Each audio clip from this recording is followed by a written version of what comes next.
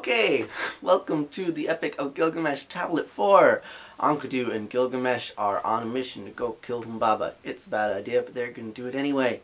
And here we go. At 20 leagues, they broke bread. At 30 leagues, they pitched camp. 50 leagues they traveled in the course of a day. By the third day, a march of a month and a half, they drew near to Mount Lebanon.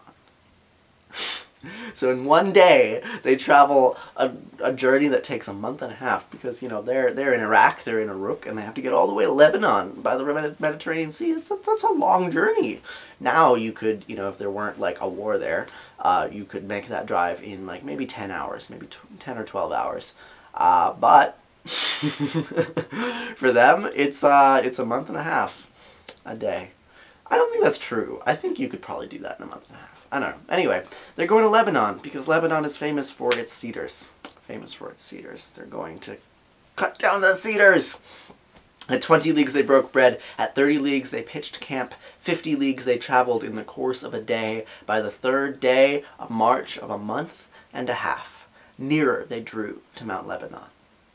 Facing the sun, they dug a well. They put fresh water in. Gilgamesh climbed to the top of the mountain. To the hill he poured out an offering of flour. O mountain, give me a dream so that I see a good sign. So this is why it takes so long, because they're doing all these rituals, right? They're, Gilgamesh climbs up to a mountain, offers an offering, uh, give me a dream. You know, this is a, a, common story, you know. Moses walks up the mountain, and uh, God gives him all these commandments. A lot of them are how to do offerings, like like a good two thirds of them are how to do offerings to God, actually. Um, so you know, very ancient Mesopotamian theme, atop the mountain, offering oblations to a god. Facing the sun, they dug a well. They put fresh water in. Gilgamesh climbed to the top of the mountain. To the hill, he poured out an offering of flour. O mountain, bring me a dream so I see a good sign. Enkidu, gave, Enkidu made for Gilgamesh a house of the dream god. He fixed a door in its doorway to keep out the weather. In the circle he had drawn, he made him lie down, falling flat like a net lay himself in the doorway. Wow. So Enkidu builds this little hut, a hut for the dream god to come in. And in the center of the hut he draws a circle. And Gilgamesh sleeps inside the circle to be visited by the dream god. Meanwhile, Enkidu sleeps in the doorway to protect him from any intruders. That's, that's quite a friend right there. to make you a dream god hut on the top of a mountain pretty, pretty special. Just gonna say, pretty special. Enkidu made Gilgamesh a house of the dream god. He fixed a door in its doorway to keep out the weather. In the circle he had drawn, he made him lie down, and falling flat like a net lay himself in the doorway. He is like a net to catch the bad things. Gilgamesh rested his chin on his knees. Sleep fell upon him that spills over people. In the middle of the night he reached his sleep's end. He rose and spoke to his friend. He's had a vision. My friend, did you not call me? Why have I awakened? Did you not touch me? Why am I startled? Did a god not pass by? Why is my flesh why is my flesh frozen and numb? My friend, I have had the first dream. The dream that I had was in utter confusion. In a mountain valley, the mountain fell do down. The, in the mountain valley, the mountain fell down on top of. Then we, like, the one born in the wild, knew how to give counsel. Enkidu spoke to his friend, gave his dream meaning. My friend, your dream is a good omen. The dream is precious and bodes us well. My friend, the mountain you saw could not be Humbaba. We shall capture Humbaba, him we shall slay. We shall cast down his corpse on the field of battle, and next morning we shall see good sign from the sun god. So we missed we missed the content of that first dream, uh, because you know these tablets were made of lapis lazuli, and lapis lazuli breaks down when it's five thousand years old, so we don't have the full content of the thing. Um, so we missed the content of the dream. It had something to do with a mountain and Gilgamesh being scared. And Enkidu's like, no, no, no, no. That mountain you saw could not have been Humbaba. We shall capture Humbaba. Him we shall slay. We shall cast down his corpse on the field of battle. And next morning we shall see a good sign from the sun god, right? Enkidu's like very reassuring. Your dream wasn't a bad omen. It's just, it's great. We're going to kill him. It's going to be wonderful. Okay, let's keep going.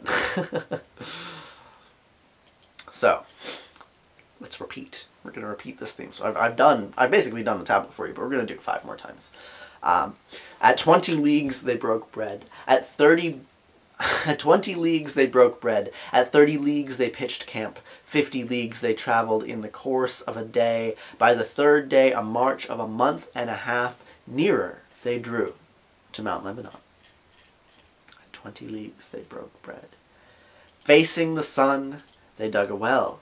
They put fresh, fresh water in. Gilgamesh climbed to the top of the mountain. To the hill he poured out an offering of flour. O mountain, bring me a dream, so I see a good sign. Enkidu made for Gilgamesh a house of the dream god.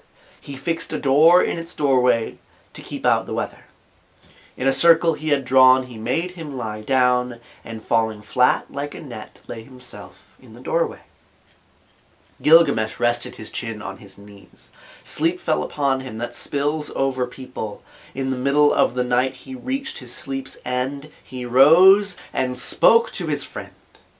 My friend, did you not call me? Why have I awakened? Did you not touch me? Why am I startled? Did a god not pass by? Why is my flesh frozen numb? My friend, I have had a second dream.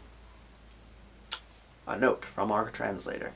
Gilgamesh's relation of his second dream has not survived in Tablet 4, but the gap can be filled by a paraphrase from an earlier version of the epic which comes from the Hittite capital Hattusa and dates to the Middle Babylonian period. Alright, here we go. Thanks for that comment. My second dream surpasses the first. In my dream, my friend, a mountain, it threw me down. It held me by my feet. The brightness grew more intense. A man appeared, the comeliest in the land, his beauty. From beneath the mountain he pulled me out, and he gave me water to drink. My heart grew calm. On the ground he set my feet. Enkidu spoke to him, saying to Gilgamesh, My friend, we shall... He is different altogether. Humbaba is not the mountain. He is different altogether. Come, cast aside your fear. The text of Tablet 4 resumes. Oh, well, we're going to be doing another repetition. So I'm going to pause here. Uh, I think I'll end this video here and I'll do another repetition in the next video very momentarily. But what do you think about repetition? So I've just read the same thing to you twice, literally. Um, what is the purpose of the creators of Epic of Gilgamesh? Why did they do that? Um, you know, certainly part of why they did that was that this was an oral thing. It was originally oral, and so this was how you memorize something, is by repeating and repeating and repeating. Uh, I think it also gives a sense of time. You know, they're traveling, and every day they climb up the mountain, they give the offering of flour, and then they make the hut, and they draw the circle, and Gilgamesh falls asleep, and he has a big dream, and he's really terrified of Humbaba, and Enkidu says, no, no, no, it's okay. And so you get this, this feeling of time passing by repeating the same thing over and over and over again. And there's there's much more to that, and so we're going to do a few more repetitions. Uh, but just in the comments of this video, video some, some initial thoughts about the value of repetition in uh, epic poetry. I'm curious what you think, so tell me. Okay, I'll see you in over there in a bit. All right, let's go. Okay, bye.